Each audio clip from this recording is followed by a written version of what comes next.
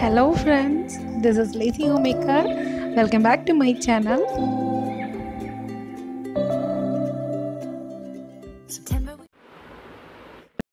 pan സ്റ്റവിൽ വെച്ചിട്ടുണ്ട്. അപ്പോൾ അതിലേക്ക് ഒന്നര tablespoon cooking oil add ചെയ്യുന്നുണ്ട്.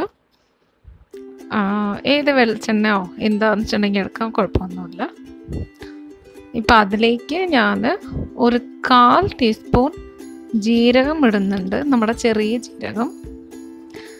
വലിയ ജീരകം പെരുംജീരകമല്ല ചെറിയ ജീരകം കാൽ ടീസ്പൂൺ ഇടുന്നുണ്ട്. അപ്പം ജീരകത്തിന്റെ ടേസ്റ്റ് ഇഷ്ടമല്ലാത്ത ആൾക്കാർ ഇടണമെന്നില്ല സ്കിപ്പ് ചെയ്തോളൂ കുഴപ്പമില്ല. പക്ഷേ ഈ ഒരു ഗ്രേവിക്ക് ഈ ജീരകം നല്ലൊരു ടേസ്റ്റ് കൊടുക്കും. ഇനി ഇതിലേക്ക് നമ്മുടെ വലിയൊരു സവാള പൊടിയായി അരിഞ്ഞത് ചേർക്കുന്നുണ്ട്. അത് ചേർത്തിട്ട് നന്നായി കളർ മാറി ഒന്ന് ലൈറ്റായിട്ട് ഫ്രൈ ആവുന്ന വരെ ഒന്ന് നന്നായിട്ട് വഴറ്റി കൊടുക്കാം.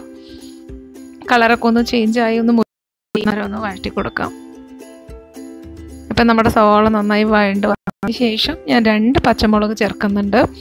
ഈ പച്ചമുളക് ഞാൻ മുറിക്കാണ്ടാണ് ചേർക്കുന്നത്. കൂടെ തന്നെ രണ്ട് ടീസ്പൂൺ നമ്മുടെ ഇഞ്ചി വെളുത്തുള്ളി പേസ്റ്റ് ആഡ് ചെയ്യുന്നുണ്ട്. എന്നിട്ട് നന്നായി ഒന്ന് വഴറ്റി കൊടുക്കുക അതിന്റെ പച്ച മണമൊക്കെ പോകുന്ന വരെ.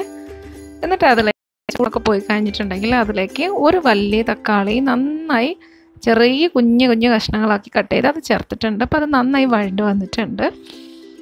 അപ്പോൾ അതിലേക്ക് ഇനി നമ്മുടെ പൊടികളൊക്കെ ഒന്ന് ചേർത്ത് കൊടുക്കാം. ഞാൻ എന്നിട്ട് ഒരു കാൽ ടീസ്പൂൺ മഞ്ഞൾപ്പൊടി ചേർക്കുന്നുണ്ട്. കൂടെ തന്നെ ഒരു രണ്ട് ടീസ്പൂൺ നിറയെ മല്ലിപ്പൊടി ചേർക്കുന്നുണ്ട്. പിന്നെ ഒരു ടീസ്പൂൺ ചിക്കൻ മസാല ചേർക്കുന്നുണ്ട്. നിങ്ങൾ ചിക്കൻ മസാല അല്ലെങ്കിൽ മട്ടൺ മസാല ബീഫ് മസാല അങ്ങനെ ഏത് മസാല വേണമെങ്കിലും ഒരു എക്സ്ട്രാ ടേസ്റ്റിന് വേണ്ടി ഒരു സ്പൂൺ ചേർത്ത് കൊടുക്കാം.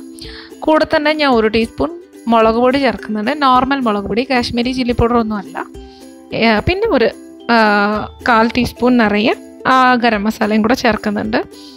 എന്റെ മുളക് പൊടി നല്ല കളറുണ്ട് ഓൾറെഡി അതിന് അതുകൊണ്ടാണ് ഞാൻ കാശ്മീരി ചില്ലി പൗഡർ ചേർക്കാത്തത്. പിന്നെ ഞങ്ങൾക്ക് എരിവ് കുറച്ച് മതി. അതുകൊണ്ടാണ് ഒരു ടീസ്പൂൺ മുളക് പൊടി ചേർത്തത് നിങ്ങൾക്ക് കൂടുതൽ എരിവ് വേണമെന്നുണ്ടെങ്കിൽ നിങ്ങൾ കുറച്ചുകൂടെ മുളക് പൊടിയൊക്കെ ചേർത്തോളൂ കേട്ടോ ഇത് നന്നായി ഇളക്കി കൊടുക്കാം. നന്നായി ഒന്ന് വഴണ്ട് വരട്ടെ. നല്ല പച്ച സ്മെല്ലൊക്കെ പോയി. മസാല മണമൊക്കെ പോയി നല്ല വഴണ്ട് വന്നതിന് ശേഷം ഞാൻ ഒരു ഇരുന്നൂറ് ഗ്രാം മഷ്റൂം ബട്ടൺ മഷ്റൂമാണിത് നന്നായി കഴുകി കട്ട് ചെയ്ത് വെച്ചിട്ടുണ്ട്. അപ്പോൾ അത് ചേർക്കുന്നുണ്ട്. ഇനി ഒന്ന് മൂടി വെക്കും. ഇത് നമ്മുടെ ഇതിൽ തന്നെ നന്നായിട്ട് വെള്ളം വരും. ഞാൻ വെള്ളമൊന്നും ചേർക്കുന്നില്ല.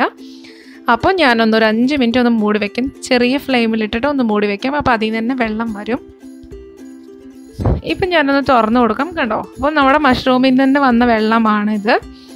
നിങ്ങൾക്ക് ഗ്രേവി കുറച്ച് ലൂസായിട്ട് വേണമെങ്കിൽ നിങ്ങൾക്ക് കുറച്ച് വെള്ളം ആഡ് ചെയ്യാം കേട്ടോ. ഞാൻ കുറച്ച് ഡ്രൈ ആയിട്ട് ചെയ്യുന്ന കാരണം ഞാൻ വെള്ളം ആഡ് ചെയ്യുന്നില്ല.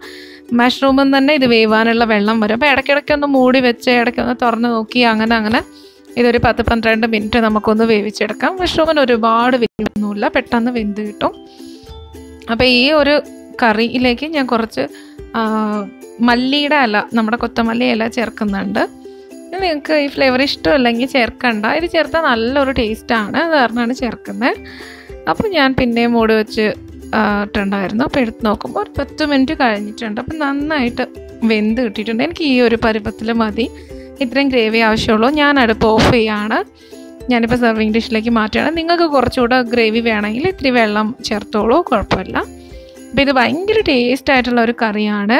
നമ്മളുടെ ചോറിന്റെ കൂടെ കഴിക്കാം. നമ്മുടെ ചപ്പാത്തി പൊറോട്ട നാൻ എല്ലാത്തിന്റെയും കൂടെ കഴിക്കാൻ പറ്റിയ നല്ലൊരു സൈഡ് ഡിഷാണ് ഇത്.